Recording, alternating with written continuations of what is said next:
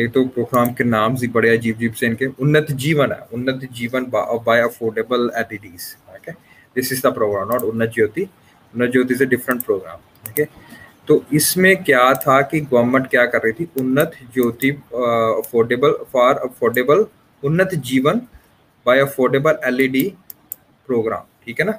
उजाला उजाला scheme थी ये। तो ये गवर्नमेंट ने एनहांस्ड एफिशिएंसी के लिए लेके आई थी, ठीक है ना? उसी तरह आज हम पढ़ेंगे। इसके अंडर हमने आई थिंक थोड़ा सा बताया भी था मैंने आपको। S N L P program भी पढ़ा था, याद है? S N L P street night program है ना? S L N P sorry S L N P ठीक है ना? सीट लाइटनिंग नाइट प्रोग्राम है ना? जो स्ट्रीट लाइट है, उसको रात को आपको मतलब जो लाइट आती थी उसमें जो बल्ब लगता था, उसको एनहा, उसको रिमूव करके एलईडी लगाया गया था। तो ये क्या है? ये सारे जो आ रहे हैं, हमने पढ़ा था, Ujala sleep S L program तो ये जो हमने प्रोग्राम पढ़े थे, वो एनहांस्ड एफिशिएंसी के थे। ठीक है? ओके? ये समय लगी आपको बात? है ना? एक आती है कि भैया आप एक तो एनर्जी की डिमांड को भी इंक्रीज कर रहे हो, यानी कि पावर की डिमांड को इंक्रीज कर रहे हो, यानी कि इलेक्ट्रिसिटी की डिमांड को इंक्रीज कर रहे हो। वो कहाँ कहाँ पे इंक्रीज कर रहे हो? याद है गवर्नमेंट ने एक स्कीम निकाली थी पीएम उज्ज्वला योजना है ना? उज्ज्वला योजना। आज हम पढ़ेंगे इसके बारे में भी। एक है आ, और एनर्जी में सिर्फ़ आप इलेक्ट्रिसिटी को मत लो और भी चीज़ें आएँगी ठीक है ना? एनर्जी में आपका बायोमास फ्यूल या बायोगैस फ्यूल जो होती है वो भी आएगा। आ, जो आप घर में चूल्हा चलाते हो वो भी आएगा। ये सारी चीज़ें आती हैं ठीक है ना? डन और फिर आती है आ, सहज बिजली हर घर योजना जिसको सौभाग्य स्कीम भी बोली जाती है सौभाग्य। इसमें क्या बोला गया? गवर्नमेंट ने बोला कि भैया जो भी बंदा चाहे वो रूरल में है चाहे वो अर्बन सेंटर में है जो बंदा अपनी इलेक्ट्रिसिटी चाहता चाहे वो रिमोट एरिया में भी है अगर वो इलेक्ट्रिसिटी चाहता तो उसको इलेक्ट्रिसिटी मिलेगी सीधी सी बात है। ठीक है ना? तो ये पहले, ये प्रधानमंत्री जो है, सहज बिजली हर घर योजना, ये वाला था, एक स्कीम ये भी आई थी। उसके बाद एक स्कीम आई थी उज्जवल भारत। उज्जवल भारत। ये सारी स्कीमें और एक और है दीन दयाल उपाध्याय ज्योति योजना। दीन दयाल उपाध्याय ज्योति योजना, ठीक है ना? योजना। दीन दयाल उपाध्याय जो ज्योति योजना है, वो भी सेम है। ठीक है ना? ये पहले होती थी राजीव गांधी विद्युत ग्रामीण विद्युतीकरण परियोजना, ठीक है ना? ये सेम होती थी, उसको नाम चेंज करके, बस नाम चेंज किया गया। उसका दीनदयाल उपाध्याय बीजेपी ने आके दीनदयाल उपाध्याय ज्योति योजना कर दिया गया। इसमें रूरल इलेक्ट्रिफिकेशन है। इसका नाम, इसका काम बस क्या है? रूरल इलेक्ट्रिफिकेशन या, ये सारे आएँगे, ठीक है ना? ये मैं बता क्या रहा हूँ, ये सारी एनर्जी की डिमांड को, के लिए है ओके और ये जो हम बात कर रहे हैं, उजाला हो गया एसएनएलपी हो गया, आज हम पढ़ेंगे स्मार्ट मीटर प्रोग्राम ठीक है ना? स्मार्ट मीटर प्रोग्राम हो गया। फिर हम पढ़ेंगे नेशनल इसके under he and triple national electrical mobility mission ठीक है ना? इलेक्ट्रिकल मोबिलिटी मिशन जिसके अंडर फेम इंडिया पढ़ेंगे हम, ठीक है? और, इसके अंडर आता था उन्नत चूल्हा अभियान, उन्नत चूल्हा अभियान। वो हम क्या है हम पढ़ेंगे। अब मैंने इसके बनाए हुए नोट्स उसके बाद हमने लास्ट क्लास में एक चीज़ पढ़ी थी। Standards and labelling standards and labelling standards and labelling program है ना? या जो याद है ये स्टैंडर्ड्स एंड लेबलिंग कौन करता था? कौन सी बॉडी uh, करती थी? Government body is it EESL, Energy Efficiency uh, Services Limited, or is it uh, B triple E, bureau of energy efficiency बताइए कौन था? बीई वेरी गुड याद है स्टार लेबलिंग प्रोग्राम था जो हमने पढ़ा था है ना? वो भी इसमें आएगा national mission on enhanced energy efficiency में ही आएगा ये सारा कुछ। और हम पढ़ेंगे साथी। साथी एक प्रोग्राम है इनका वो हम पढ़ेंगे पावर लूम सेक्टर के लिए है। वो क्या है हम पढ़ेंगे साथी प्रोग्राम उसके बाद और भी बहुत सारे हैं हम वो पढ़ते रहेंगे ठीक है ना? स्मार्ट मीटर हो गया national energy efficiency on national energy efficient fan programme भी है हमारा एक ओके वो भी चल रहा है। आ, फिर agriculture national energy efficiency agricultural pump programme भी है हमारा। ये सारा कुछ इसके अंडर ही आएगा। सारा नहीं पढ़ना, बस मोटे इंपॉर्टेंट इंपॉर्टेंट पढ़ना है। ये दो चीज़ें मैंने आपको इसलिए करवाई हैं ताकि आप इस चीज़ का इसको इससे डिफ्रेंशिएट कर पाओ। ठीक है? Done they are two different things okay एक एनर्जी की डिमांड के बढ़ा रहा है, उसकी डिमांड की बात कर रहा है और एक एनर्जी एफिशिएंसी की बात कर रहा है। ताकि जो भी हमारे पास इस जो स्कीम आएगी, वो एनर्जी एफिशिएंटी एस की स्कीम आएगी। और majority as star labelling programme को छोड़ के majority will be done by EESL Energy Efficient Services Limited.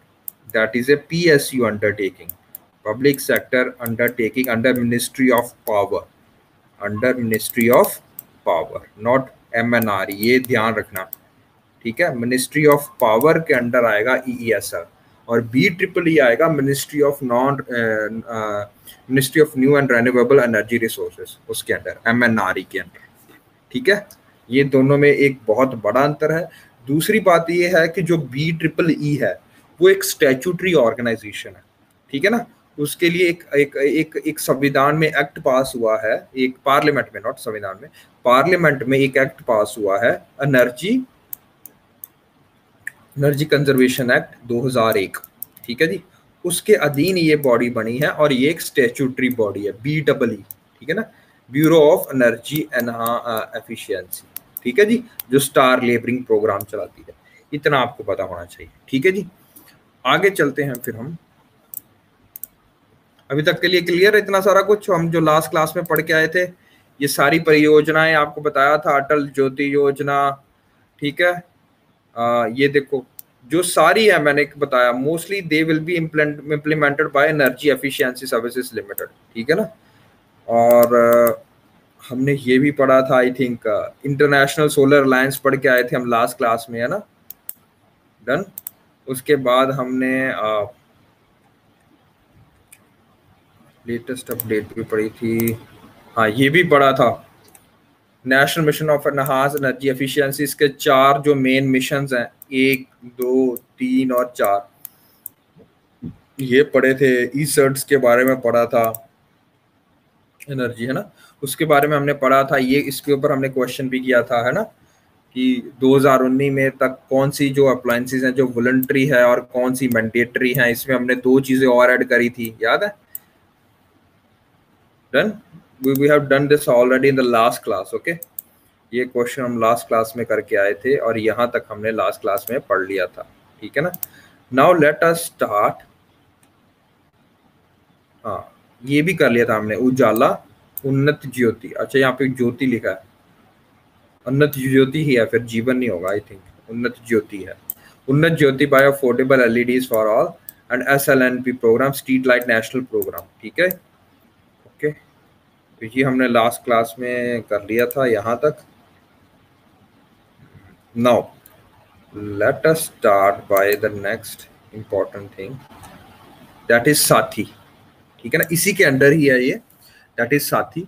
साथी क्या है? Sustainable and accelerated adoption of efficient textile technologies to help small industries अभी नाम ही बड़ा है, इसीलिए इन्होंने छोटा नाम इसकी एक्रोनिम बताया हुआ, साथी।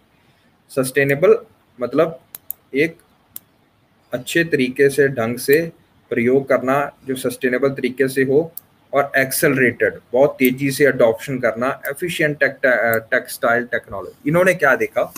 देखो इंडिया का जो टेक्सटाइल में अभी आ रहा है, हमारा जो कपड़े पहन रहे हैं हम रेडीमेड टेक्सटाइल रेडीमेड गारमेंट्स पहन रहे हैं फिफ्टी एट परसेंट जो है, वो ट्रेडिशनल मेथड से करते हैं, पुरानी टेक्निक पुरानी टेक्नोलॉजी का यूज़ करते हैं, पुराने पंप्स का यूज़ करते हैं, पुरानी मशीनरी का यूज़ करते हैं हम, ठीक है ना?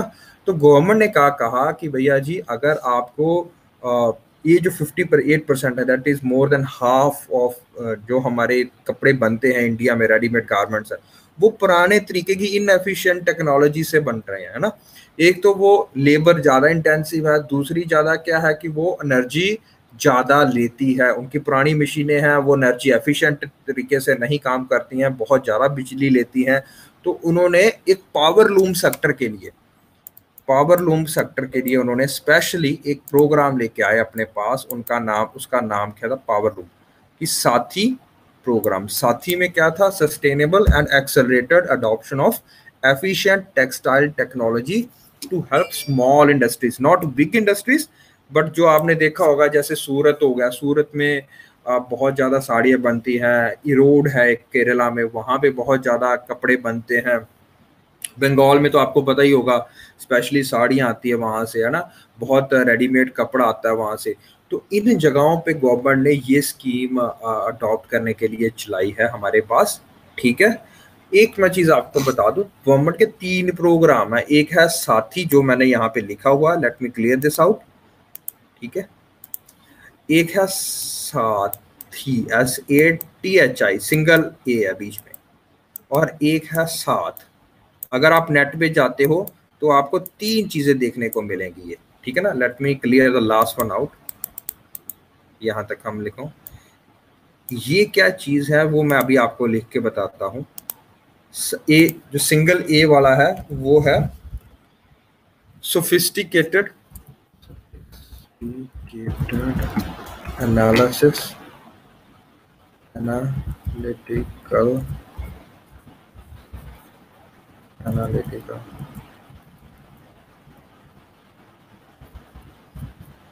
Analytical. Sophisticated analytical uh, and technical help institutions and technical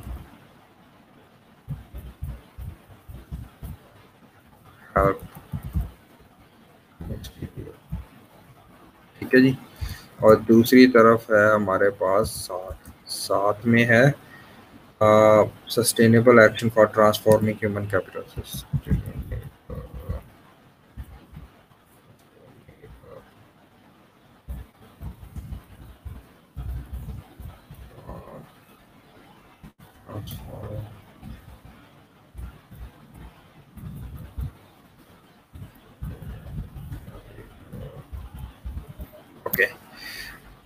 let me it over here दिख रहा है बेटा आप सबको? ठीक है ये दिख रहा है। Everyone are you seeing this thing ठीक है ये दो प्रोग्राम प्रोग्राम और दिखेंगे आपको। सो so, so, so, ये वाला ठीक है और ये वाला। सस्टेनेबल एक्शन फॉर ट्रांसफॉर्मिंग तो साथी साथी और साथ तीन प्रोग्राम है। ये जो है ये प्रोग्राम जो है लेट मी चेक ये प्रोग्राम जो है, ये ministry of M N R चला रही है, ठीक है जी? ओके पावर लूम सेक्टर के लिए।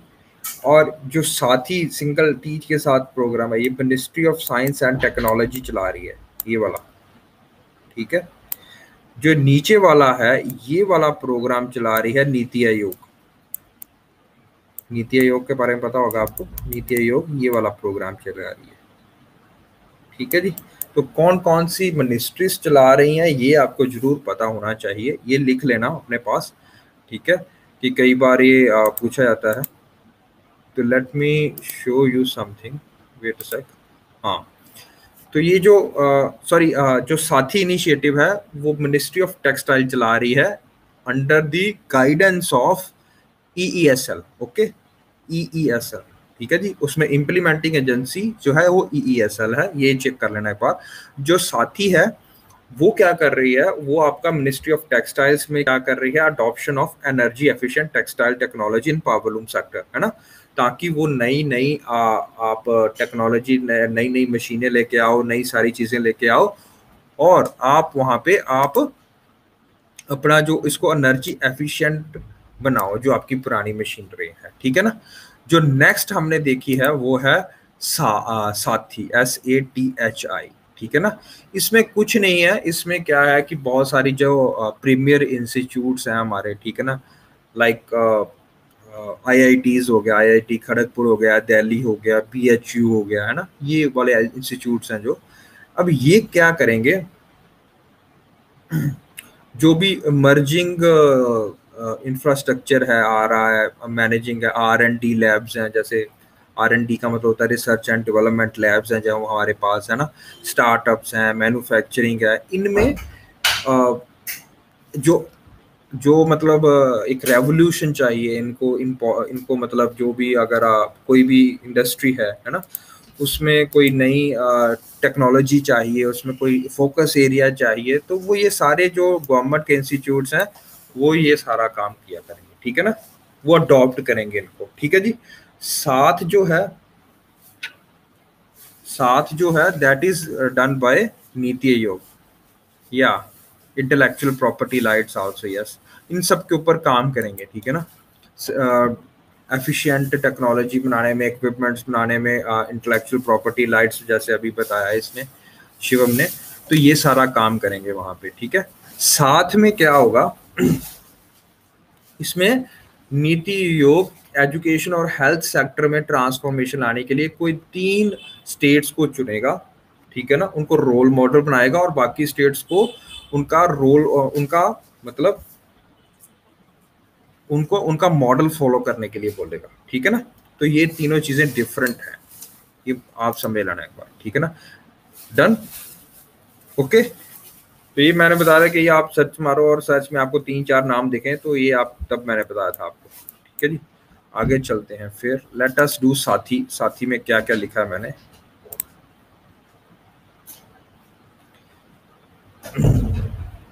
वही बात कही है कि भैया जो पावर लूम सेक्टर है मोस्टली अनऑर्गेनाइज सेक्टर है। अनऑर्गेनाइज का मतलब उनका प्रॉपरली क्या कहते हैं, हमारी गवर्नमेंट की कैलकुलेशंस में नहीं आते वो। ठीक है ना? ऑर्गेनाइज सेक्टर में नहीं आते वो प्रॉपरली वो टैक्स या ये सारा कुछ नहीं अच्छे से पे करते तो इसलिए वो अनऑर्गेनाइज सेक्टर में है ठीक है? डन तो ये आ, क्या है? ये basically ministry of power and textiles का जो एक कंबाइंड इनिशिएटिव है साथ ही इसमें क्या बोला गया कि आप नई टेक्नोलॉजी अच्छा इसमें फ़ायदा क्या सबसे अच्छा? साथ ही में क्या करेगी गवर्नमेंट जो ई एस एल है ठीक है ना? ई ई एस एल के रूप में ये इम्प्लीमेंटिंग एजेंसी है ठीक है ना? ये क्या करेगी? ये ना कंपनियों के पास जाएगी जो स्मॉल इंडस्ट्रीज़ है उनके पास जाएगी उनको बोलेगी भैया आप ये वाली मशीन हटा दो इसके लिए जगह हमें आपको नई मशीन देते हैं। ये बल्क प्रोक्योर करते हैं। जो एनर्जी एफिशिएंसी सर्विसेज़ लिमिटेड है ये जितने भी आ, काम करता है बल्क में खरीद लेता है पहली सारी मशीनें ठीक है ना? बल्क में इसको सस्ती पड़ती हैं। अगर एक एक खरीदेगा सबके लिए डिफरेंट डिफरेंट जाके तो आपको महँगी पड़ेंगी। लेकिन आपको अगर गवर्नमेंट की कोई ऐसी एजेंसी है जो सारी चीज़ें इकट्ठी खरीद के दे दे, है ना? तो एनर्जी एफिशिएंसी सर्विसेज़ लिमिटेड जो है, वो आपके लिए यही काम करता है। ये क्या करता है? आपके, आपकी मशीनें आपको खरीद के देगा पहले आपसे, ठीक है ना? आपसे सीधा पैसे नहीं मांगेगा। खरीद के आपको मशीनें दे देगा, आप चलाओ, ठीक है ना? आपका पिछले साल का बिल देखेगा, भैया जी, देखो आपका पिछले साल का बिल इतना आया था दस हज़ार रुपए या बीस हज़ार रुपए या तीस हज़ार रुपए, जितना भी आया था। जब आप नई मशीन लगाते हो, उससे आपकी एनर्जी सेविंग होएगी। तो आपने बिजली को भी तो देना था। समझ रहे हो ना मेरी बात? बिजली वालों को भी तो बिल देना था तीस हज़ार रुपया। अगर आपका दस हज़ार रुपया खर्चा आ रहा है नई मशीन लगाने के बाद तो आप बीस हज़ार रुपया मेरे को दे सकते हो। ठीक है ना? गवर्नमेंट को दे सकते हो बीस हज़ार रुपया आप प्रति माह प्रति महीने आप दे सकते हो। तो आप दो ठीक है? तो अप फ्रंट क्रॉस्ट आपकी, जैसे अगर आपकी मशीन दस लाख की आती है तो आपको अप फ्रंट देने की ज़रूरत नहीं है। गवर्नमेंट आपको चार, पाँच, दस साल देगी इंटरेस्ट फ्री वो भी, ठीक है ना? कि आप नई मशीनें लगाओ। नई मशीनें से better productivity better energy efficiency ये सारा कुछ होगा। तो गवर्नमेंट आपके लिए ये काम कर रही है। ठीक है जी? डन एवरीवन अंडरस्टूड बताइए। तो जो ये साथी प्रोग्राम या कोई भी प्रोग्राम जो ई e e कर रही है, ये आपका खर्चा कैसे बचाती है? बल्क प्रोक्योर करती है आपके, अगर मतलब आपने ये स्कीम में अपना एंटर कराया नाम, ठीक है ना? ये देखेगी कि मेरे पास हज़ार लाभकार्थी हो गए हैं एप्लीकेंट्स हो गए हैं। उनकी ये वाली मशीन को चाहिए सबको, और ये इतने पैसे बचाएगी, ठीक है? वो उसकी बल्क प्रोक्योर ये करेंगे। गवर्नमेंट ऑफ़ इंडिया करेगी, जितने भी पैसे लगे वो देंगे। आपको अपफ्रंट पैसे देने की ज़रूरत नहीं है दस लाख। जितना भी आपका पैसा बचेगा, ठीक है ना? जितना भी आपने पैसा बचेगा, आप उसको गवर्नमेंट को दे दो, ठीक है ना? जो आपने बाद में बिजली का बिल भी तो देना था, अगर आप नहीं चेंज करते हो तो वो बिजली का बिल अगर जितना भी बचेगा, वो आपको देना पड़ेगा अंडर दिस ठीक है जी? चार या पाँच साल का लोन होता है, ठीक है जी? ये देखो aggregate demand and bulk procurement will lead to reduction of capital cost and benefit ये सारा कुछ अभी मैंने बताया वही चीज़। अच्छा सेकंड जो इसमें प्रोग्राम आता है एक हमने अभी साथी प्रोग्राम पढ़ा, अभी हम पढ़ा स्मार्ट मीटर नेशनल प्रोग्राम अच्छा होता क्या था कि जो आपके पुराने मीटर होंगे, आपके घर में लगे होंगे, ठीक है ना? यू ऑल विल थिंक कि भैया, ये पुराने मीटर है, एक तो आपके घर के अंदर लगे होते थे, ठीक है ना? तो आप जैसे मर्ज़ी उसमें आ, कई पुराने मीटर जिसको पता होगा उसमें तार घुसेट देते थे है ना? तो उससे वो धीरे धीरे चलता था। बिजली की चोरी होती थी गवर्नमेंट को नुकसान ठीक है? गवर्नमेंट को पास पता नहीं था। गवर्नमेंट आपके घर में जाके सीधा घंटी बगा के चेक नहीं कर सकती थी भैया बताओ मेरे को है ना? नहीं कर सकती थी ना? तो गवर्नमेंट ऑफ़ इंडिया ने अब क्या बनाया? सेंट्रल सेंट्रल इलेक्ट्रिसिटी अथॉरिटी के द्वारा प्रमाणित एक स्मार्ट मीटर नेशनल प्रोग्राम बनाया कि हम अब सबके घर में स्मार्ट मीटर लगाएँगे। अब ये देखने के लिए बड़ा अच्छा चीज़ है स्मार्ट मीटर प्रोग्राम मतलब बढ़ाने पता नहीं क्या स्मार्ट बताएगा। लेकिन ये बेसिकली जो घर में आप चोरी करते हो, जो मतलब लोग चोरी करते हैं, बिजली की कुंडियाँ लगाते हैं, कुंडिया का भी मतलब समझ होगा आपको, जो लोग बिहार और यूपी में स्पेशली ये बिज़नेस है भैया वहाँ पे। लोग स्पेशली बुलाते हैं, जैसे ब्याह, शादी के त्योहार पे टाइम पे आपको वहाँ पे कुंडी लगाई जाती है स्पेशली ताकि आप ब्याह, शादी देख पाओ, है ना? तो वो ना कर पाओ, उसके लिए गवर्नमेंट ने एक स्मार्ट मीटर नेशनल प्रोग्राम बनाया। ये किसका हिस्सा है, ये मैंने लिखा होगा यहाँ पे। ये एक प्रोग्राम चल रहा है गवर्नमेंट का, उसका नाम है sorry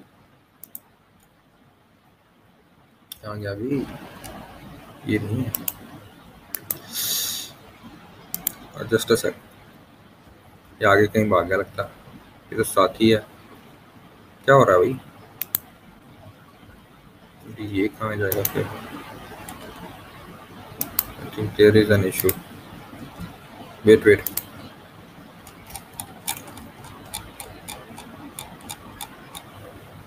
just a sec I think वो मेरे से अपलोड नहीं हुआ। अच्छा मैं आपको ऐसे बता देता हूँ। ये जो स्मार्ट मीटर प्रोग्राम है, ये एक गवर्नमेंट की स्कीम आई थी एडवांस मीटरिंग इंफ्रास्ट्रक्चर है ना? एडवांस मीटरिंग इंफ्रास्ट्रक्चर उसी के अधीन ये चला हुआ है, ठीक है ना? तो जो स्मार्ट मीटर नेशनल प्रोग्राम है, इसमें कुछ नहीं है। इसमें है कि भैया जी, आपके घर में अब जो मीटर लगेगा, वो स्मार्ट मीटर लगेगा, है ना? ओके एक मिनट। आपके घर में जो लगेगा, वो स्मार्ट मीटर लगेगा। कहाँ गया। हाँ। तो स्मार्ट मीटर लगेगा। स्मार्ट मीटर में क्या था कि गवर्नमेंट आप, अब आप क्या कहते हैं, बिजली चोरी नहीं कर पाओगे, ये एक ऑब्जेक्टिव है।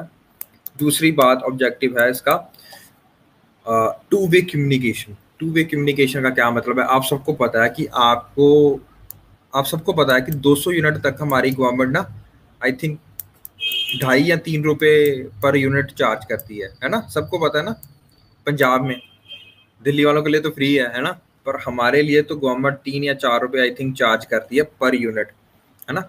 बट हमें ये कभी पता नहीं चलता कि 200 यूनिट कब हो गए हमारे, है ना? आपको कोई मैसेज आता है गवर्नमेंट के द्वारा या आपकी इलेक्ट्रिसिटी एजेंसी के द्वारा? नहीं ना आता, क्योंकि ना तो गवर्नमेंट को पता है, ना तो आपको पता है कि भैया जी, आपके कितने यूनिट प्रतिदिन खपत हो रहे हैं, ठीक है ना? तो स्मार्ट मीटर में ये चीज़ होगी नई गवर्नमेंट ने ये डाली है एक तो घर के बाहर लगेगा आपका मीटर, है ना? तो कोई भी बेचारा जो बिल देने आता है, आपके घर में आने की ज़रूरत नहीं उसको, ठीक है ना? वो बाहर से रीडिंग लेगा, आपके घर में फेंक जाता है, नंबर एक। दूसरी बात, चोरी कम हो जाएगी, मैंने जैसे बताया। और तीसरी बात है कि भैया टू वे कम्युनिकेशन चलेगी अब, ठीक है ना? तो आपको जैसे हंड्रेड आपने 200 यूनिट पूरा कर लिया, आपको एक मैसेज आ जाएगा खातादार के मोबाइल पे कि भैया जी, आपने 200 यूनिट पूरा कर लिया, अब के बाद आपका यूनिट ज़्यादा पड़ेगा। ठीक है ना? तो फिर आप उस हिसाब से एनर्जी एफिशिएंसी कम भी कर सकते हो ना? समझ रहे हो ना बेटा? तो अगर आपको पता ही नहीं लग रहा, आप बाहर जाके देख रहे हो, पता नहीं पिछली यूनिट क्या आपको ये नहीं पता, आप कितना है ना, वो नहीं पता है ना? तो इसका एक फ़ायदा तो कंज्यूमर को है और दूसरा फ़ायदा जो है, वो है गवर्नमेंट को। गवर्नमेंट को क्या इशू है? गवर्नमेंट को क्या फ़ायदा एक्चुअली अगर गवर्नमेंट को पता कि मैं, अगर मैं मतलब बाखड़ा नंगल से दस हज़ार मेगावाट एनर्जी पैदा कर रहा हूँ और मैं जलंधर तक बिजली भेज रहा हूँ, बीच में थोड़ा लॉसेस होते हैं, हमने पढ़ा था, है ना? Aggregate transmission and commercial losses होते हैं, जैसे जैसे हमने दावा कहा था कि पावर वहाँ से लेके आते हैं तो यहाँ तक आते आते सपोज़ हज़ार मेगावाट एनर्जी हमारी लॉस हो जाती है ट्रांसमिशन में, तारों में आते आते ही रेजिस्टेंस होता है उनमें, ठीक है ना? इसलिए कारण सपोज़ जो नौ हज़ार पहुँची है, जलंधर के सब स्टेशन मॉडल टाउन में जो सब स्टेशन है, वहाँ तक पहुँची है है ना? तो वहाँ के आगे अगर जहाँ पे मैं रह रहा हूँ, वो भी कम से कम दस पंद्रह किलोमीटर का डिस्टेंस होगा, जितने भी घर बीच में आएँगे, है ना? तो पर्टिकुलर ग्रिड है हमारे पास और मेरे तक आते आते वो चलो जी 500 और लॉस हो गया। ठीक है ना? लेकिन हमारे यहाँ पे लोग बड़े शातिर हैं भाई। क्या करते हैं कि भैया कुंडी लगा लेते हैं, मीटर में वो डाल देते हैं और बीच में कनेक्शन को गायब भी कर देते हैं ना? मतलब कम रिपोर्ट करते हैं आपके पास, है ना? तो गवर्नमेंट को इतना तो पता होगा ना कि भैया पचासी सौ अगर आपके एंड यूज़र तक पहुँच रही है मतलब ये वाले मोहल्ले में पहुँच रही है मोहल्ले के अंदर पता लग जाएगा। तो ये भैया जा कहाँ रहा है है ना?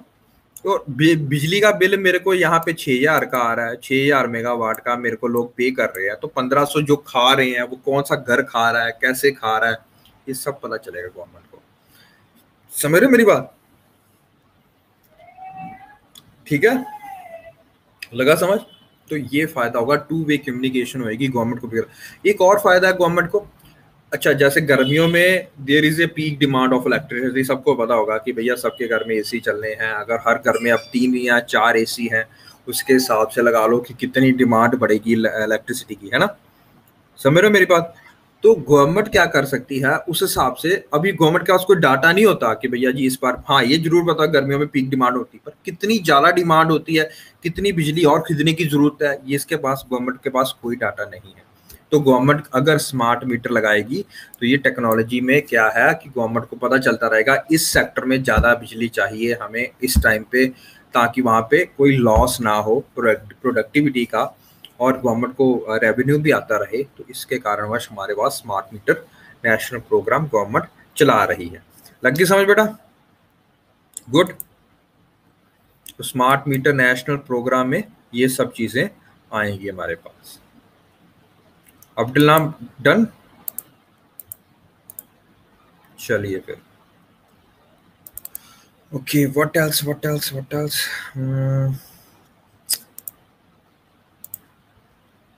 एक मिनट।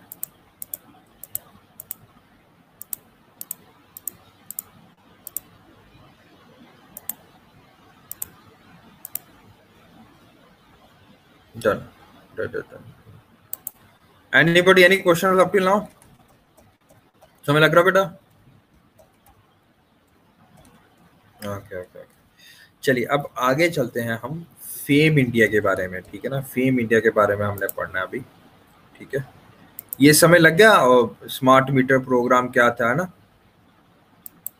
ओके तो स्मार्ट मीटर नेशनल प्रोग्राम भी आ, आपका गवर्नमेंट चला रही है ताकि ये सब चीज़ें की जा सके और इसको भी इम्प्लीमेंटिंग एजेंसी कौन है? ई e मोस्टली e याद रखो ब्यूरो ऑफ़ एनर्जी एफिशिएंसी सिर्फ़ एक चीज़ में ही मोस्टली याद नहीं आती स्टार लेवल प्रोग्राम में। बाकी सारे जितने भी हम पढ़ रहे हैं एनर्जी एफिशिएंसी वाले, ये सारे कहाँ पे आ रहे हैं? एनर्जी एफिशिएंसी सर्विसेज़ लिमिटेड के अंडर आ रहे हैं। ठीक है जी? Done done done okay what else अच्छा इसके बाद हमने पढ़ना है फेम इंडिया प्रोग्राम मैंने आपको बताया था national mission on allergy electric national electrical mobility mission ठीक है ना? ये भी किसमें आता है? किसमें आता है ये भी? अंडर सब मिशन है अंडर क्या कहते हैं national mission of energy enhanced energy efficiency में, ठीक है ना? सब मिशन है, ये वाला मिशन उसके अंडर गवर्नमेंट को, इसको इम्प्लीमेंट करने के लिए गवर्नमेंट ने एक स्कीम चलाई है। याद करो मैंने आपको बोला था, पहले मिशन आएगा, फिर पॉलिसी डॉक्यूमेंट आएगा पॉलिसी डॉक्यूमेंट के बाद में आएगा स्कीम जो फेम स्कीम है, यानी कि फेम स्कीम का नाम है faster adaptation and manufacturing of electrical vehicles in India scheme ठीक है ना? फेम स्कीम का मतलब है। इसके दो चरण हो चुके हैं। अभी दूसरा चरण चल रहा है करंटली एक चरण पहले हो चुका है खत्म। पहले हम बात करते हैं कि इंट्रोडक्शन क्या है। It was launch to incentivize the production and promotion of eco friendly vehicles आपने अभी देखा होगा एक स्कूटरी आई अभी टू व्हीकल्स वाली याद है? टू टू व्हील वाली। उसमें क्या है कि वो आ, बिल्कुल बैटरी के चार्ज पे चलती है है ना? है थोड़ी सी महँगी ज़्यादा है। उसमें आप चार्ज करते हो घर में आपने चार्जर लगाया होता है उसके पता नहीं चालीस पचास या साठ किलोमीटर रेंज होती है समथिंग और आवाज़ बिल्कुल नहीं करती हो। ठीक है ना? डन? तो वो सारा कुछ ये सिर्फ़ वही नहीं है और आपने अभी उसके बारे में भी सोचा होगा सुना होगा। इलेक्ट्रिकल व्हीकल्स आ गए हैं जो तिपहिया व्हीकल्स होते हैं जैसे ऑटो टाइप के है ना? उसमें क्या है कि वो बिल्कुल बैटरी रखी होती है आगे उन्होंने उसका रखा होता है मोटरसाइकिल वाले मुँह लगाया होता है पीछे उसने आ, वो पीछे सवारियों के लिए बैठने के लिए होता है और आगे बैटरी रखी होती है। देखी होगी सबने है ना? अमृतसर में बहुत सारी हैं। हेरिटेज सिटी है ना वहाँ पे। तो बहुत सारे वहाँ पे है। इंडिया अभी जलंधर में भी काफ़ी आ गए हैं, हर जगह पे काफ़ी हो रहे हैं। अच्छा वो भी फेम इंडिया का ही है, ठीक है ना? फास्टर अडोप्टेशन ऑफ़ हाइब्रिड और इलेक्ट्रिकल व्हीकल्स ठीक है ना? हाइब्रिड है जो फ्यूल पे भी चलते हैं और इलेक्ट्रिसिटी से भी चलते हैं। डन अच्छा। ये जो है नेशनल इलेक्ट्रिकल मोबिलिटी मिशन जो है इसका हिस्सा है ठीक है? आ, इसके में बेसिकली आप गवर्नमेंट क्या कह रही है कि भैया आपको इलेक्ट्रिकल व्हीकल्स के ज़्यादा तवज्जो देने की ज़रूरत है। क्यों देने की ज़रूरत है? क्या फ़ायदा होगा गवर्नमेंट को? बताइए। Why do you think government is incentivizing this sector, this scheme. Government को नुकसान ही है yeah environment friendly yeah when there will be a fuel a demand for fuel reduction yes yeah good what else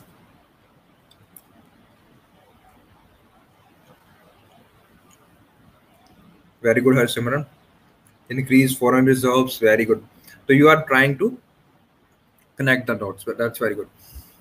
तो एक तो हमारे पास यहाँ पे environment friendly भी लिखोगे, अब थोड़ा सा एनहांस करो अपनी vocabulary not environment friendly only ये बोलो to may to meet international commitments to meet international commitments like I N D C intended nationally determined contribution ठीक है ना? थोड़ा सा बताओ कि भैया, हमें भी पता है। सिर्फ़ आर को नहीं पता, हमें भी पता है, ठीक है, कि ये सही चीज़ें अपनी जब भी टाइम मिले ना यूपीएससी में वेन एवर गेट कभी भी चांस मिले ऑलवेज शो योर नॉलेज ठीक है ना? उसके बारे में कुछ ज़रूर लिखो ऐसी ही चीज़, क्योंकि सब बच्चे बोलेंगे, यार of course of import of electricity जो हमारा सॉरी बिल है फॉरेन बिल है, वो कम होगा, ये फलाना डमकाना होएगा बट थोड़ा सा नॉलेज शो करो ओके और क्या था इसमें? इसमें चार एरिया ऑफ़ एनर्जी में फोकस किया जाएगा फेम इंडिया में। सबसे पहले टेक्नोलॉजिकल डेवलपमेंट अच्छा ये आपको पता है कि भैया जो वाहीकल्स हैं अभी पहले हमारा अभी एक होता है लॉन्ग टर्म गोल जब भी गवर्नमेंट कोई सोचती है, एक होता है शॉर्ट टर्म गोल ठीक है ना? शॉर्ट टर्म गोल है जो अभी के लिए। लॉन्ग टर्म है, हमारी मतलब विजन है। कि भैया हम चाहते हैं कि 2030 या 40 या 50 तक आते आते हमारे पास एक प्रॉपर इलेक्ट्रिकल वो बन जाए, है ना? Mission and vision very good Shivam. तो शॉर्ट टर्म गोल अभी गवर्नमेंट का है टू अडॉप्ट भारत स्टेज याद है? Bharat stage vehicles Bharat stage one two three four अभी कितना चल रहा है? बड़ी खबर सुनी है नहीं आपने? मार्केट में अभी कौन सा स्टेज है भारत?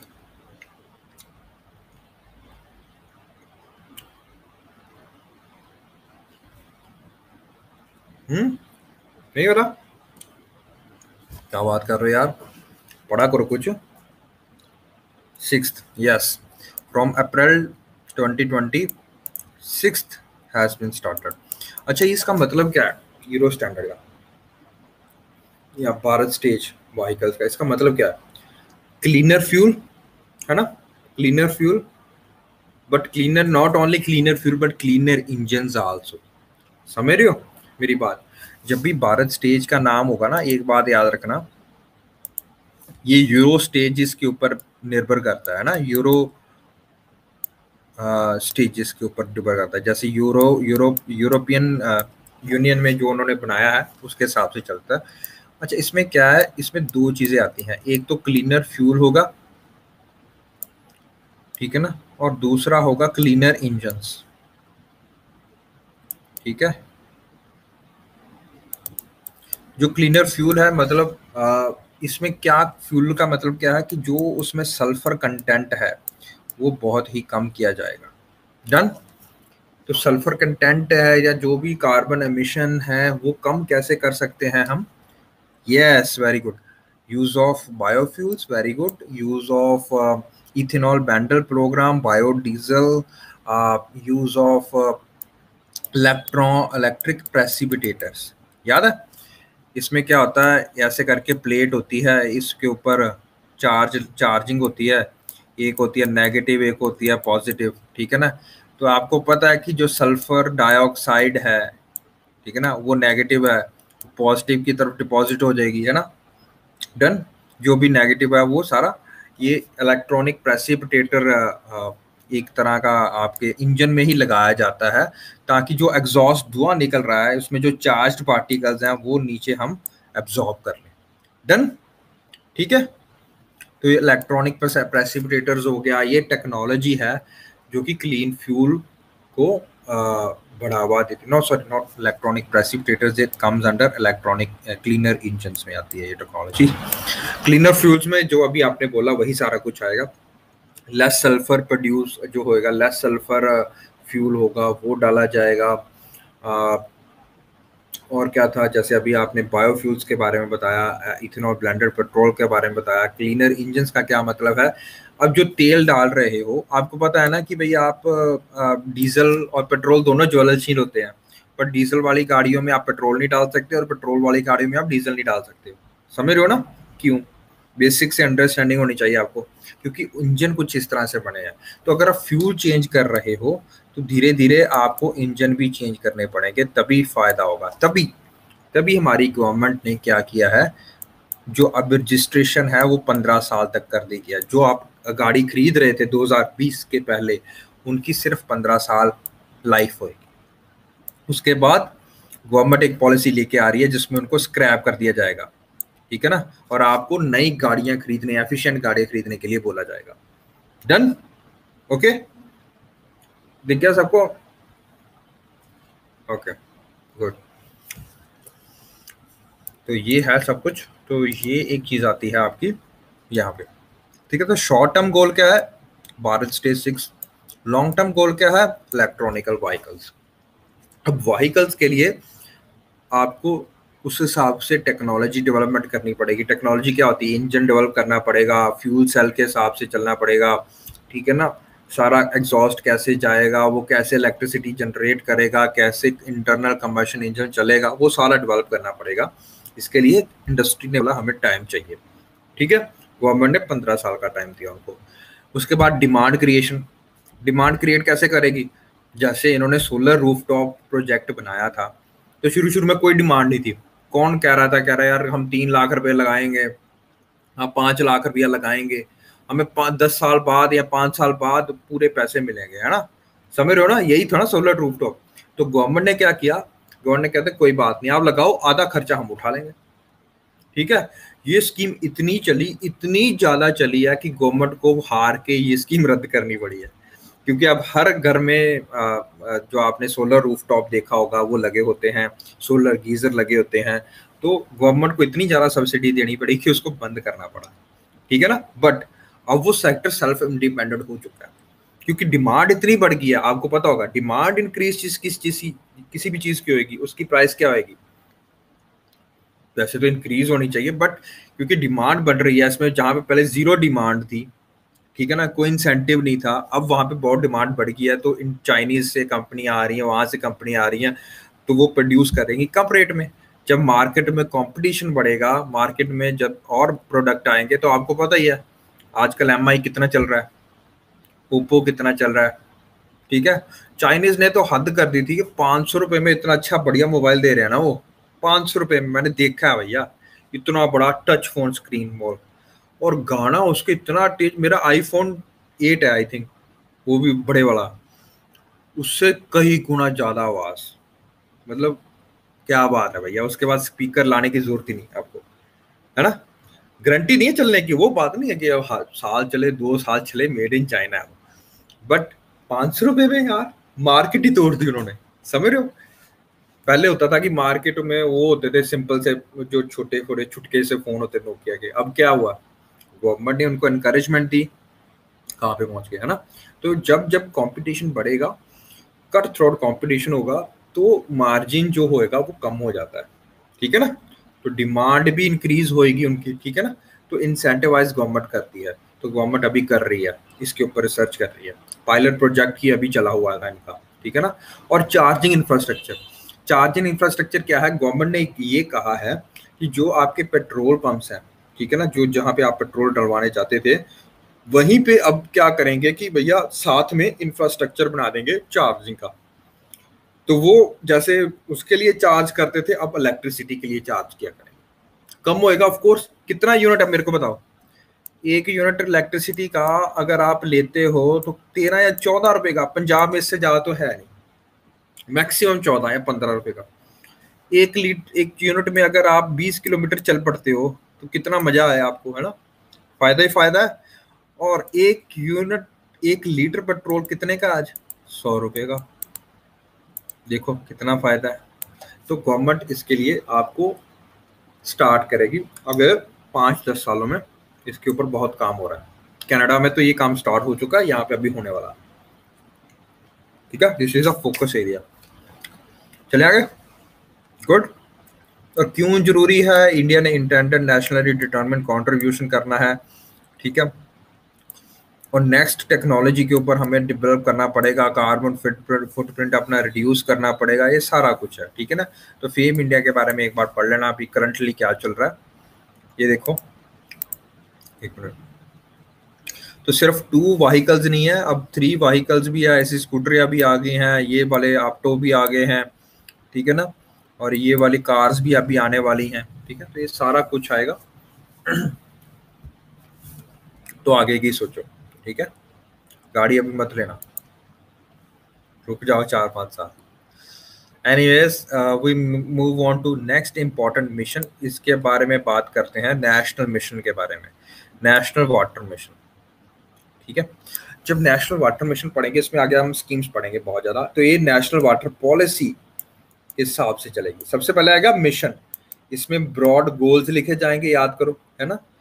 उसके बाद नेशनल वाटर पॉलिसी आएगी 1988 में हमें आई थी 2012 में भी आई थी। तो उसमें क्या होगा कि हमें किन किन चीज़ों को कितना कितना परसेंट इसमें फैक्ट्स आएँगे। फैक्ट्स एंड फिगर्स आएँगी, ठीक है ना? फैक्ट्स एंड फिगर्स कि अच्छा जी, अगर ये काम करते हैं तो इतने परसेंट हमें फ़ायदा होगा, इतने परसेंट नुकसान होगा, इतना परसेंट गवर्नमेंट का खर्चा आएगा, इतना ज़्यादा रिजिलियंस बढ़ेगा। तो ये सारा कुछ आता है पॉलिसी में। उसके बाद स्पेसिफिक सेक्टर वाइज गवर्नमेंट निकालती है स्कीम्स ठीक है ना? अब जो स्कीम है, जो हमें याद करनी है specially on national water mission के ऊपर, वो आपको ध्यान देना है। National water sorry water mission के ऊपर, आपको दो चीज़ों के बारे में ध्यान देना है। एक गवर्नमेंट लेके आएगी, ठीक है? Schemes on schemes on water conservation ठीक है? वाटर कंजर्वेशन के ऊपर स्कीम्स लेके आएगी। दूसरा स्कीम्स लेके आएँगी वो on what enhancing water use efficiency done समझ लगे अंतर। एक है कि वाटर को आप कंजर्व करो। किस तरह से कंजर्व करोगे? अगर आपके पास पानी की किल्लत है तो किस तरह से आप रेन वाटर हार्वेस्टिंग करोगे? Water shade integrated water shade development करोगे? ये सारी स्कीम्स आएँगी इसमें। ठीक है? डन लग गए समय? इसमें बहुत सारी आज हम और भी पढ़ेंगे। एक ना स्कीम आपकी पिछले वाले में रहा कि वो मैं लास्ट में करवाऊँगा अभी। ठीक है? तो एक तो मैं ये करवा रहा हूँ, ठीक है ना? एक मिनट। नेशनल वाटर मिशन, है ना? हाँ। तो इसमें क्या क्या आएँगे स्कीम्स? वाटर कंजर्वेशन के ऊपर क्या है? याद है आपको अभी गवर्नमेंट ने ministry of water drinking and drinking and safe sanitation को नाम चेंज करके क्या रखा है? जल शक्ति, है ना? मिनिस्ट्री ऑफ़ जल शक्ति। तो उन्होंने एक अभियान स्टार्ट किया है, जल शक्ति अभियान। वो आएगा इसमें। एक इन्होंने मिशन स्टार्ट किया जल जीवन मिशन। वो आएगा इसमें, ठीक है ना? डन ये कंजर्वेशन के लिए सारी याद रखो। जल जीवन मिशन हो गया, ये हो गया, शक्ति अभियान हो गया जल शक्ति अभियान हो गया जल जीवन मिशन हो गया। अच्छा ये दोनों सेंटर की है स्कीम्स अब स्टेट्स की भी हैं, जैसे कि राजस्थान में एक चला हुआ मुख्यमंत्री मुख्यमंत्री जल स्वावलंबन योजना, जल स्वावलंबन योजना। वाई अब बोलो आप सर हमें क्यों पढ़ने की ज़रूरत है बेटा? देखो, जब भी आपने यूपीएससी में कोई ऐसे लिखना है यूपीएससी में कोई आंसर देना है, सिर्फ़ सेंटर का नहीं देना, आपको ये भी पता होना चाहिए कि कोई कौन कौन सी लोकल इंपॉर्टेंट स्कीम्स चल रही हैं इस चीज़ के ऊपर। That will show your versatility in your knowledge okay तो आपको पता होना चाहिए, ये गवर्नमेंट के डॉक्यूमेंट से ही मैंने निकाल दी है। जो सेंट्रल गवर्नमेंट ने अपनी अचीवमेंट्स का डॉक्यूमेंट होता है ना उसमें से मैं ये स्कीम्स लेके आऊँ मैंने खुद से नहीं ढूंढी। ठीक है ना? ये नेट पे अवेलेबल नहीं है या नोट्स में अवेलेबल नहीं होगी but you need to know that ठीक है ना? हम पढ़ेंगे इसके बाद थोड़ा थोड़ा सा पता होना चाहिए। उसी तरह एक आ, एक और स्कीम है उसका नाम है जलयुक्त शिविर। ये भी गवर्नमेंट ऑफ़ इंडिया के डॉक्यूमेंट में थी मैंने देखी थी जलयुक्त शिविर। ठीक है ना? ये राजस्थान के लिए है ये मैं बताता हूँ किसके ऊपर है। एक है धारा विकास। ये सिक्किम में है चल रही है ठीक है ना? You should know what are the different schemes both at state level and both at central level एक और है uh, पंटा संजीवनी ये आंध्र प्रदेश के ऊपर है। पंटा संजीवनी हम पढ़ेंगे ये सारी वाटर कंजर्वेशन के ऊपर है ठीक है? इसके अलावा है, आपको पता होगा river rejuvenation plans river rejuvenation plans आपने नममी गंगे प्रोग्राम के बारे में सुना होगा, नममी गंगे। या national mission on clean Ganga program एक ही बात है, नममी गंगे। सुना नाम कभी है 2014 में गवर्नमेंट ऑफ़ इंडिया ने स्टार्ट किया था good you understand this thing इतनी सारी स्कीम्स अब आपको स्पेशली जाके गवर्नमेंट की वेबसाइट पे जाके देखने की ज़रूरत नहीं है कि अच्छा ड्रिंकिंग वाटर ने ये वाली निकाली है, जल शक्ति वालों ने ये वाली निकाली है, ये सब कुछ आपको पता ही होगा, चलेगा आपका, ठीक है ना? अच्छा दूसरी है वाटर यूज़ एफिशिएंसी को किस तरह से बढ़ाया जाए, ठीक है ना? वाटर हम कहाँ यूज़ करते हैं majoritarily we use for irrigation we use for crop वो यूज़ फॉर राइस कल्टिवेशन है ना? तो उसके लिए गवर्नमेंट ने इंक्रीज करने के लिए एक स्कीम निकाली थी आप सबको पता होगा प्रधानमंत्री कृषि सिंचाई योजना। एक्चुअली ये सिर्फ़ एक बहुत बड़ी स्कीम है जिसके अंडर बहुत सारे आ, आते हैं आ, क्या कहते हैं स्कीम्स जो पहले चल रही थी ऑलरेडी ठीक है ना? वो सारी स्कीम्स इसमें आएँगी। इसके बाद आएगी अटल भूजल योजना ठीक है ना? अटल भूजल योजना आएगी। तो ये सारी स्कीम्स आएँगी, ये हम पढ़ेंगे वाटर यूज़ एफिशिएंसी को बढ़ाने के लिए। ठीक है? अप टिल नाउ बच्चों। लग रहा समझ? डिफ़िकल्ट तो नहीं लग रहा? इस तरह से समय लग रहा कि रैदर मैं सबका एक एक का सिंपल सिंपल करवाऊं। बताओ। Is it good you are you are you are understanding it अच्छा जो इससे पहले जो प्रधानमंत्री कृषि सिंचाई योजना थी, उसमें बहुत सारी आती थी योजनाएँ आती थी, उसको क्लब कर दिया गया है अब। ये डिफरेंट कोई नई नवेकली योजना नहीं है। ये एक बहुत बड़ी योजना कर दी गई, जिसके पहले छोटी छोटी जो योजनाएँ थी, जो दो तीन मिनिस्ट्रियाँ थी, ministry of agriculture, ministry of water resource, ministry of rural development इन तीनों में जो एक एक योजना दो दो योजना चल रही थी आपको पता होगा है ना? आ, हर खेत को पानी है ना? आ, एक इस एक ये योजना थी एक मोर पर ड्रॉप मोर क्रॉप ठीक है ना? माइक्रो इरिगेशन जो government of ministry of agriculture की एक योजना थी वो वाली होगी है ना? Let me show you uh, something.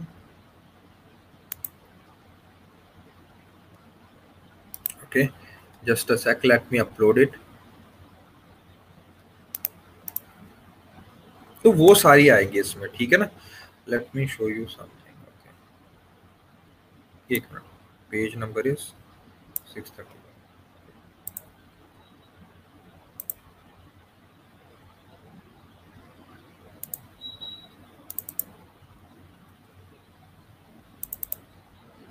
using this thing guys दिख रहा है? तो ये सारा आता है आपका प्रधानमंत्री किसाई किसाई योजना। ये ऑलरेडी पहले चल रही थी, ये कोई बंद नहीं हुई थी। ठीक है ना? ये ऑलरेडी चल रही थी एग्ज़ाम ये पहले चल रही थी integrated water watershed development program ठीक है ना? मनरेगा माइक्रो इरिगेशन प्रोग्राम जिसका नाम चेंज कर दिया उन्होंने बस। नाम चेंज करके फ़ायदा किया क्या कि ये पहले डिफरेंट चल रही थी। ये मिनिस्ट्री ऑफ़ वाटर के ऊपर थी, ये था, ये सारी चल रही थी, ये सारी चल रही थी।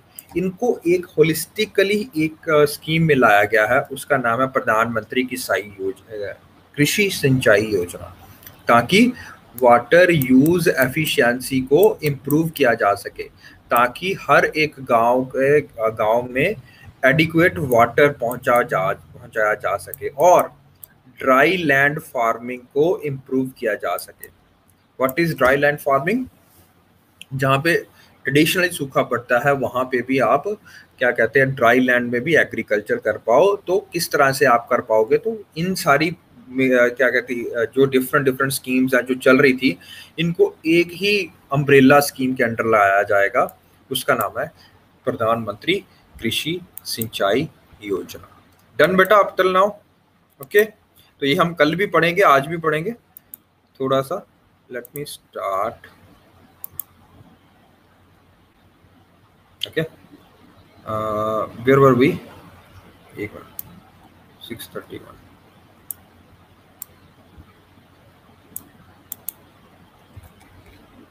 yes हाँ. तो लेट अस स्टार्ट विद जल जीवन मिशन ये दिख रहा है आपको? लेट मी इंक्रीज इट ठीक है?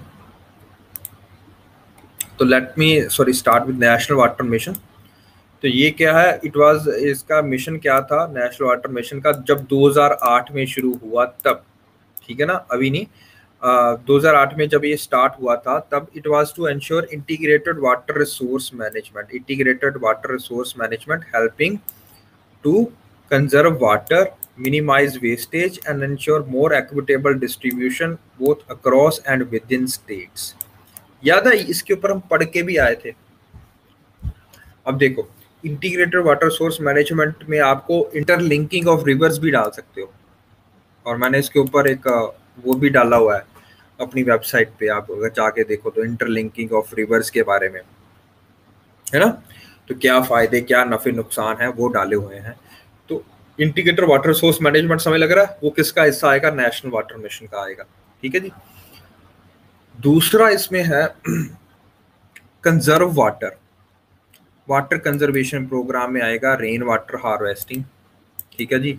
अब आप देखते हो कि हर आप नक्शा पास कराने जाते हो ना म्यूनसिपल कॉरपोरेशन में तो सबसे पहले एक आपके पास शर्त रखते हैं कि भैया जी, घर जैसा मर्ज़ी बनाओ आप, एक हिस्सा आपको, एक पर्टिकुलर आपको ज़मीन में गंड गाड़ के वहाँ पे टैंकी लगानी पड़ेगी ताकि वाटर हार्वेस्ट करके जो रेन वाटर आता है आपके घर में, वो आप नीचे पानी इकट्ठा कर पाओ। ठीक है ना? तो ये रेन वाटर हार्वेस्टिंग का एक rooftop rain water harvesting का एक इंपॉर्टेंट रिसोर्स है। और कैसे तरीके हो सकते हैं? They are known as traditional rain water harvesting programs ठीक है ना? Rain water harvesting programs like आप सबने कुंड का नाम सुना होगा, कुंड। है ना? या पाउंड पाउंड को क्या बोलते थे हम? पॉन्ड्स क्या बोलते थे हम? तालाब तालाब का नाम सुना होगा, है ना? टैंक इरिगेशन के बारे में सुना होगा साउथ इंडिया में, है ना? तो ये सारे ट्रेडिशनल वे थे। बौली का नाम सुना होगा बौली बौली का नाम सुना? पंजाब में खास करके बौली या राजस्थान में बौली बोला जाता है। दे आर ट्रेडिशनल जागबो बोला जाता है नागालैंड में, ठीक है ना? लद्दाख में कुछ और बोला जाता है। तो ये ट्रेडिशनल रेन वाटर हार्वेस्टिंग है। वो वाटर को रोकने का तरीका है एक तरह से, ठीक है ना? वाटर क्योंकि नॉर्मली क्या होता है, मैंने आपको पहले भी एग्ज़ाम्पल बताई थी, जैसे चेरा पूंजी हो गया, ठीक है ना? जैसे मैसमरान हो गया, है ना? तो ये वाले, वैसे तो ये यहाँ पे रेन फॉरेस्ट है, देखो, और रेन फॉरेस्ट है, और यहाँ पे लोग जो रहते हैं, उनको पानी की बड़ी किल्लत है। वाई बिकॉज़ वो सारा पानी जो होता है, वो वहाँ पे रुकता नहीं है। वो पानी सारा का सारा नदियों में चले जाता है, जो वहाँ पे नदियाँ बह रही हैं सारी की सारी। लाइक जो right and left bank tributaries हैं ब्रह्मपुत्रा की, ठीक है ना? सुबन सिरी है ना? ये वाली, उनमें चले जाता है पानी। उनके पास ठहरता नहीं है। They are high flow rivers है ना? तो ये पानी वहाँ पे कैसे रोका जा सके ताकि ये ग्राउंड में परकोलेट कर सके और वो ग्राउंड वाटर को रिचार्ज कर सके? इसके लिए बहुत सारे लोकल मतलब वहाँ पे बोले जाएँगे local rain water harvesting programs चलाए जा रहे हैं ताकि वहाँ पे जो जो ट्रेडिशनली इतने दिनों सालों से वो जैसे वाटर हार्वेस्टिंग करते आ रहे हैं, उनको बढ़ाया बढ़ावा दे, दिया जा सके। ठीक है ना? तो गवर्नमेंट का क्या पॉलिसी उन्होंने नेशनल वाटर पॉलिसी जब निकाली तो उन्होंने बोला कि हमें 20 परसेंट से ज़्यादा अपना वाटर यूज़ एफिशिएंसी को बढ़ाना पड़ेगा, ठीक है? ताकि हम ग्राउंड वाटर को रिचार्ज करें और ड्रिंकिंग वाटर भी हमारे पास इक्वली मिल पाए, ठीक है जी? ओके ठीक है। इसी तरह बाकी सारा कुछ भी है, देखो ensure that considerable share of water needs need of the urban areas are met through recycling recycling की जा सके, सीधा वाटर डिस्चार्ज ना किया जा सके रिवर्स में ताकि वो उनको पोल्यूट करें। तो वाटर रिसाइकलिंग यूनिट्स भी बनाए जा रहे हैं इसके अंडर ही। तो ये सारा कुछ था कोस्टल सिटीज़ में क्या करना है सेलिनेशन टेक्नोलॉजी लगानी है, ताकि खारे पानी को मीठे पानी में कन्वर्ट किया जा सके, ये सारा कुछ, ठीक है ना? ये देखो enhance storage both above and below ground rain water harvesting ठीक है? ये सारा कुछ होना चाहिए था ये सारा कुछ इन्होंने चलाया ठीक है ना? अब आता है मिशन जल जीवन मिशन जो गवर्नमेंट ऑफ़ इंडिया ने स्टार्ट किया था 2000 आई थिंक 15 में शायद है ना? 2015 में। तो आ, उन्होंने लॉन्च किया Jal Jeevan mission to bring piped water to household तो ये जल जीवन मिशन में बेसिकली क्या है? प्रधानमंत्री जी बोल रहे हैं कि हर घर में नलका होना चाहिए या हर घर में नल होना चाहिए और उस नल में पानी आना चाहिए, ठीक है ना? तो पाइप्ड वाटर कनेक्शंस के बारे में, इसके बारे में बोला गया है, ठीक है ना? क्योंकि इंडिया के पास, ये देखो लिखा हुआ है sixty percent sixteen percent of the world population है but only four percent water का फ्रेश वाटर रिसोर्सेज आपने कई बार फ़ोटो में देखा होगा राजस्थान में या जो वहाँ पे ट्रेडिशनली ड्राई एरिया जहाँ पे होते हैं, वहाँ पे लोग गड़े के ऊपर, गड़ा के ऊपर गड़ा बना के सौ पंद्रह पंद्रह सोलह सोलह किलोमीटर रोज तय करते हैं सफ़र, है ना, पानी के लिए।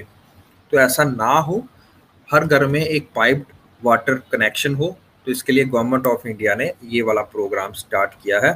ठीक है जी? ताकि हर एक घर में साफ़ पानी की सुविधा हो सके। ठीक है? 2024 तक। ठीक है जी? Water supply to every house by 2024 तक। ठीक है जी? इसमें गवर्नमेंट ऑफ़ इंडिया ने बहुत सारी ये सारी, इसके अंडर ही सारी स्कीम्स हम पढ़ेंगे, ठीक है ना? जैसे हमने बोला रेन वाटर हार्वेस्टिंग हुआ ट्रेडिशनल वाटर हार्वेस्टिंग हुआ टेक्निक्स हुआ ये सारी इसके अंडर ही आएँगे, ठीक है ना? जल जीवन मिशन के अंदर अच्छा एक और गवर्नमेंट ऑफ़ इंडिया का या मिनिस्ट्री ऑफ़ जल शक्ति का क्या कहते हैं, अभियान चल रहा है, उसका नाम है जल शक्ति अभियान, ठीक है जी? ये 2019 में बिल्कुल लेटेस्ट अभी स्टार्ट किया गया है, ठीक है? इसमें क्या बोला गया है? इसमें चार आस्पेक्ट्स के ऊपर ध्यान दिया जाए water conservation and rain water harvesting ठीक है? नंबर एक, इसके ऊपर ध्यान दिया जाएगा। Renovation of traditional and other water bodies जो पहले तालाब और पॉन्ड्स और ट्रेडिशनल वेटलैंड्स होते थे, उनको रीजनरेट किया जाएगा। उनको दोबारा से क्या कहते हैं, वहाँ पे कंस्ट्रक्शन सॉरी वहाँ पे उनको रीजनोबिनेट किया जाएगा, उनको रेनोवेट किया जाएगा ताकि पानी वहाँ पे बन सके, पानी आ सके और पानी स्टोर हो सके। Reuse of water recharging of the structures watershed development and intensive afforestation समझ लो ये सारा इसके ऑब्जेक्टिव हैं, एक बार देख लेना इसमें क्या क्या आता है। ये देखो लिखा होगा। मतलब बेसिकली ये इसी को बढ़ावा दे रहा है, जल जीवन मिशन को, ठीक है ना? जल जीवन मिशन तभी कामयाब होगा अगर जल शक्ति अभियान कामयाब होगा, ठीक है? चलिए, उसके बाद आता मुख्यमंत्री जल स्वावलंबन योजना अभियान, ये राजस्थान में चला हुआ है, ठीक है? इसमें क्या किया जाता है? इसमें स्मार्ट ग्रिड बनाई जा रही है। ठीक है? स्मार्ट ग्रिड का क्या मतलब है? बेसिकली एक किसी जगह को ना सेल्फ रिलायंट बनाना वाटर में, ठीक है ना? बट ये तब तक इम्पोर्टेंट नहीं हो सकता, ये अचीव नहीं हो सकता जब आपको पता ही नहीं है आपके वाटर रिसोर्स कितना है, ठीक है? तो पहले एक एटलस बनाई जाएगी वाटर रिसोर्स की, ठीक है ना? कि सपोज़ जी ये गाँव है, इसमें इतना बारिश पानी आता है, इतना पानी वेस्ट जाता है, इतना पानी एग्रीकल्चर रन ऑफ़ में चला जाता है, इतना पानी क्या कहते हैं ग्राउंड वाटर में जाता है और इसके बाद इतनी इतनी खपत है इनकी ठीक है ना? इतना पानी निकाला जाता है अप्रोक्सीमेटली पैडी की ग्रोन के लिए इतना पानी निकाला जाता है, इतना ट्यूबवेल में जाता है, इतना डिस्चार्ज हो जाता है ना? ये सारा कुछ। तो एक पहले स्मार्ट ग्रिड बनाई जाएगी किसी भी गाँव में कि ये पानी आता कहाँ है, पानी कहाँ ठहरता है, पानी कहाँ पे ठहराया जा सकता है, ये सारा कुछ। ये गवर्नमेंट ऑफ़ राजस्थान का एक प्रोग्राम है। ठीक है, उसमें ये इंक्रीज इन ग्राउंड लेवल करेगा, ये सारी चीज़ें बताएगा इरिगेशन ऑफ़ ये ये सारा कुछ करेगा, ठीक है ना? बट बेसिकली अब ये क्या है, जब ये वाटर एटलस बनाई जाएगी, फिर हम क्या कर सकते हैं कि जहाँ पे वाटर सरप्लस है, वहाँ से वाटर हम जो डेफिसिट एरियाज़ है, वहाँ तक पहुँचा सकते हैं, ठीक है? ओके डन तो ये है हमारा, ये वाला मुख्यमंत्री जल संवर्धन योजना।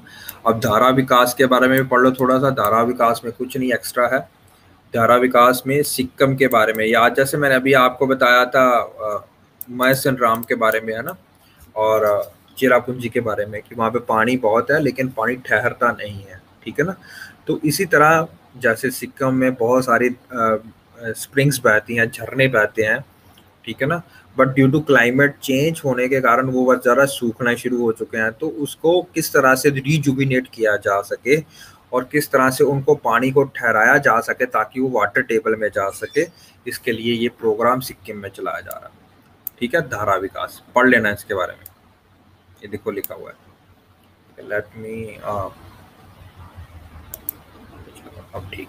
Okay do study about this okay after all afterwards uh, yeah these are these are the major basic topics. अब जो हमने कल पढ़ना है दैट वुड बी प्रधानमंत्री कृषि सिंचाई योजना के बारे में। ठीक है थोड़ा सा पढ़ेंगे इनके बारे में ठीक है? Uh, आज मैं आपके साथ ना डू बी एक्टिव ऑन क्या कहते हैं जो हम प्लेटफॉर्म में है ना हमारा टेलीग्राम में उसमें एक्टिव रहा करो ठीक है? उसमें मैं कुछ इंपॉर्टेंट चीज़ें शेयर कर रहा हूँ अब। ठीक है? वो आपने रेगुलरली देखनी है, ठीक है ना? तो मेरे पास शायद एक मैं आज ढूंढता हूँ प्लस वन की या प्लस टू की बुक है शायद नहीं आई थिंक टेंथ की बुक है वो आईसीएसई की, ठीक है? उसमें ना ट्रेडिशनल रेन वाटर हार्वेस्टिंग के बारे में बहुत अच्छा आपको मटीरियल मिल जाएगा, ठीक है ना? फ़ोटो के साथ में। तो वो ज़रूर पढ़नी है आपने, ठीक है? वो मैं आपको आज भेजता हूँ, ठीक है? डन गाइस ओके गाइस सुन रहे हो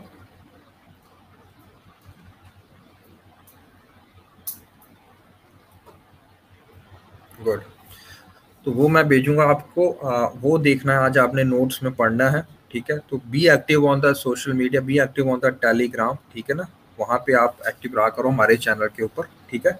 उसमें मैं भेजूँगा ये आपका होमवर्क है उसके ऊपर देखना क्या क्या है आप वहाँ पे इंक्लूड कर सकते हो इन चीज़ों में और ठीक है?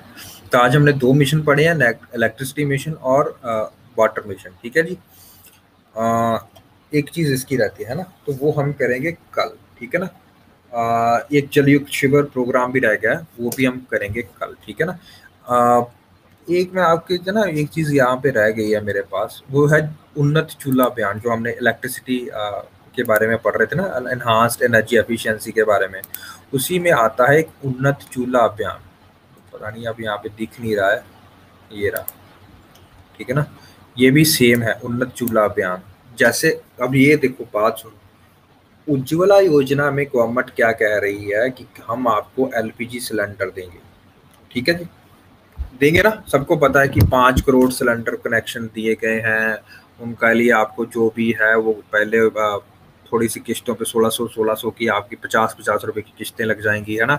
तो वो आपको काफ़ी टाइम के ऊपर एक साल में तीन तीन बार देते हैं वो side cylinder free of cost तो ये है ताकि आपके जो क्लीनर फ्यूल्स मतलब आप यूज़ कर पाओ घर में इंडोर पोल्यूशन कम कर पाओ ब्लैक कार्बन जो आप बनाते हो, अगर आप नॉर्मल चूल्हा घर में रखते हो और जो मिट्टी का चूल्हा आप यूज़ करते हो और लकड़ियों का फ्यूल यूज़ करते हो उससे बहुत सारा हेल्थ हैजर्ड्स होते हैं।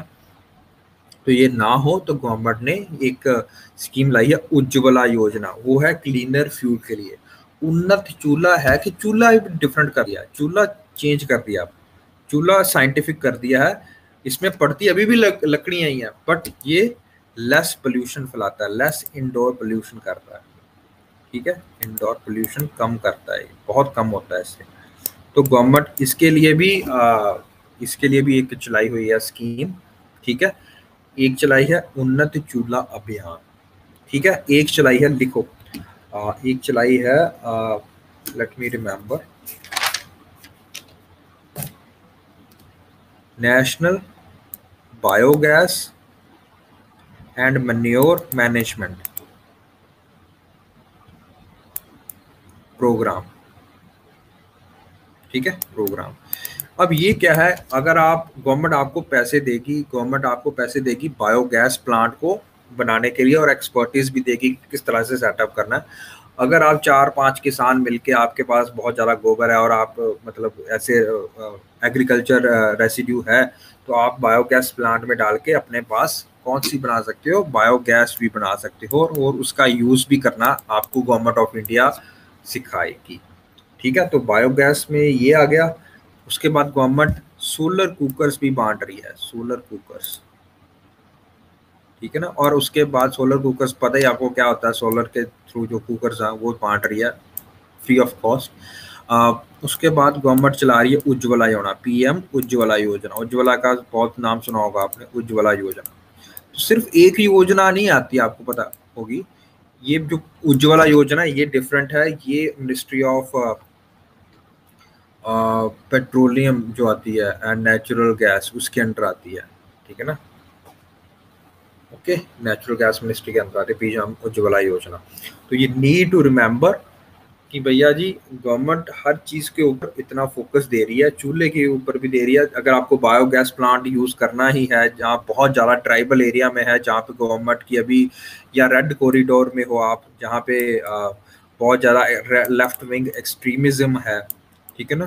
तो गवर्नमेंट वहाँ पे नहीं पहुँच सकती है या उनके स्कीम्स यहाँ पे नहीं पहुँच सकती हैं तो गवर्नमेंट आपको एक उन, ये उन्नत चूल्हा भी देगी आपको। चूल्हा एफिशिएंट चूल्हा यूज़ करो आप, ठीक है? उसके बाद पीएम उज्ज्वला योजना है national biogas and manure manu management program है सोलर कुकर्स हैं, ये सारा कुछ क्यों कर रही है? To prevent indoor pollution and the use of black carbon production of black carbon अब ब्लैक कार्बन कैसे बनता है सूट बनता है, क्या इसका रोल है एनवायरनमेंट में एरोसोल में, ये हम पहले करके आ चुके हैं सारे का सारा। जब मैंने आपको बताया था रिट्रीटिंग ग्लेशियर्स के ऊपर सबसे ज़्यादा इनका इम्पैक्ट है सरफेस एल्बिडो को डिक्रीज करते हैं, याद है?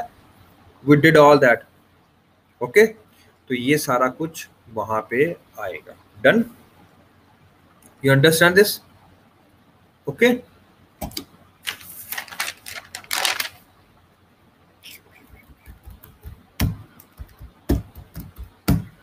good तो दिस वाज समथिंग अबाउट क्या कहते हैं हमारा जो हमने दो मिशन प्लान पढ़े हैं और उसके अंदर काफ़ी बहुत सारी uh, क्या कहते हैं स्कीम्स पढ़ी हैं। आपका आज का काम है इन सारी जो स्कीम्स पढ़ाई हैं जब भी आपने स्कीम पढ़नी है कोई सबसे पहले आपको याद रखना है कौन सी मिनिस्ट्री के अंडर आता है ये ठीक है?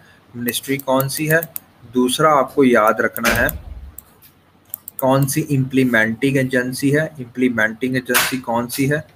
कौन सी चीज़ें उसको इम्प्लीमेंट कर रही है? दो तीन इसके मतलब ऑब्जेक्टिव्स क्या हैं? गोल्स क्या हैं? बस दैट्स ऑल कितना इसने अचीव किया, कितना नहीं किया, वो आपको उसमें नहीं पढ़ना है अभी, ठीक है ना? बस आपको इतना याद रखो कौन सी मिनिस्ट्री है, कौन सी इम्प्लीमेंटिंग एजेंसी है, कौन सी ऑब्जेक्टिव क्या क्या ऑब्जेक्टिव है? दो तीन मेजर ऑब्जेक्टिव्स क्या हैं इसके? पास दैट्स ऑल लिखे हुए ना जैसे उन्नत चूल्हा अभियान के मैंने लिखे हुए हैं। ऑब्जेक्टिव्स बस इतना ही आपको पढ़ना है, बस इतना ही बहुत। ठीक है? और चौथी चौथी बात आपको याद रखनी what are the intended beneficiaries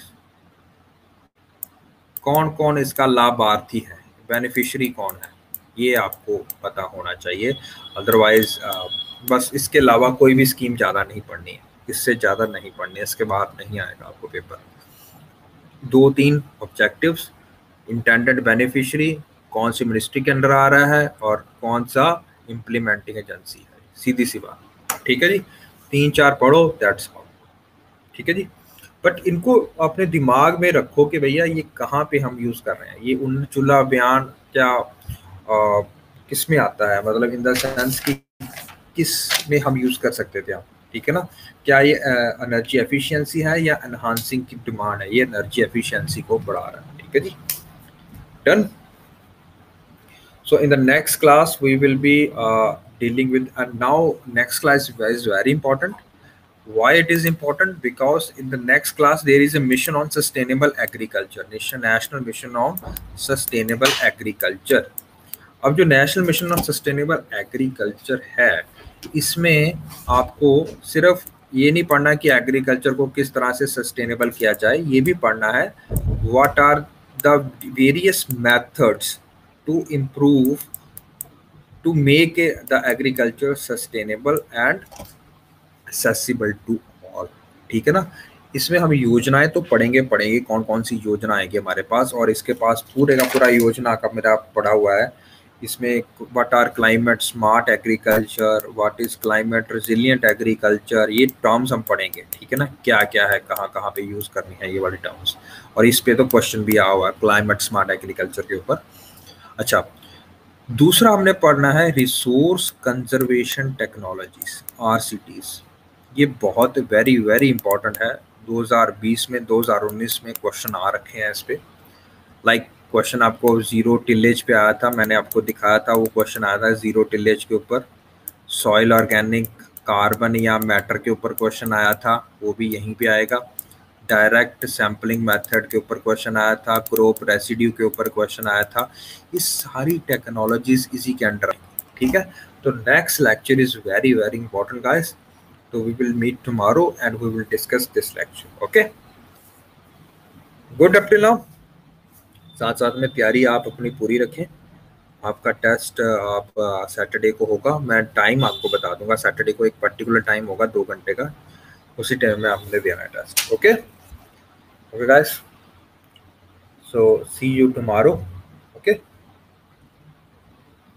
About same time okay okay guys?